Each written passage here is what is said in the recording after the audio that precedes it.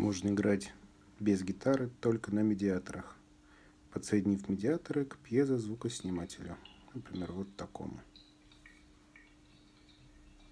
Дергаем.